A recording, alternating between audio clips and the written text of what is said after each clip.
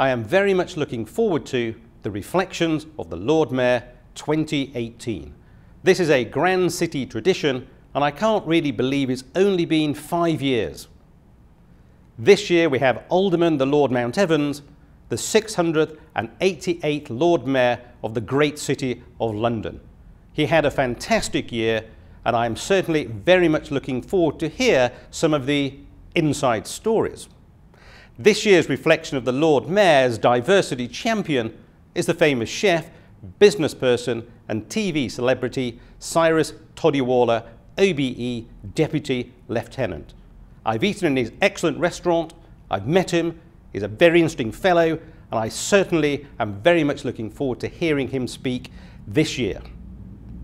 The event will be lively, friendly, and no doubt well attended. I look forward to seeing you there.